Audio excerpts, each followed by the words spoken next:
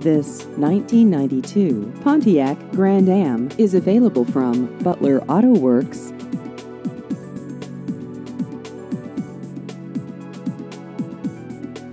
This vehicle has just over 52,000 miles.